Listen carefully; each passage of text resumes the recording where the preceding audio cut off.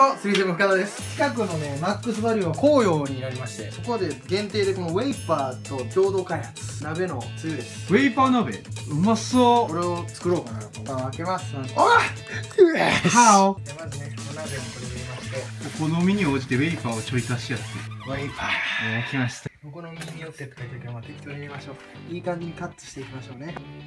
で、おなじみですね、これね。これがいいのよ。これな、食べたかってんけどな、俺一人やんか家で。うん。俺を呼んでよ。お前なんか飲んでも楽しないやろ。石原さとみさんみたいな人と鍋したいわ。それはこっちだって一緒だ。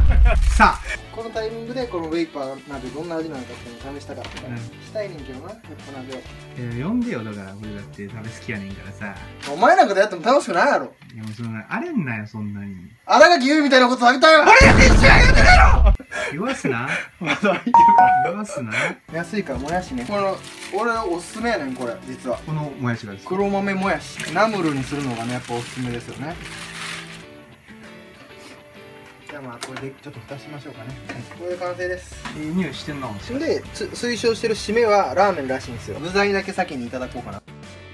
パーティー終わらない。いただきまーすうん。あっさりしてますね。ちょちょっと足したウェイパーがちょうど良かったかもしれない。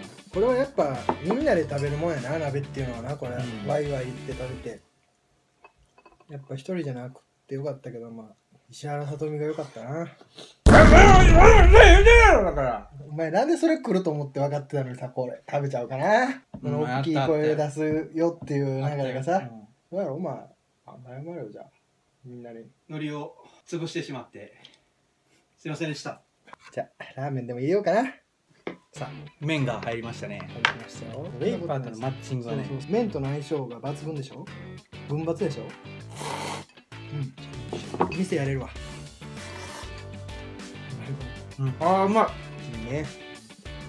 皆さんパーティーするときはねこのウェイパーを使ってランチしてみてはいかがでしょうか。スタジオにお返しします。さまなんや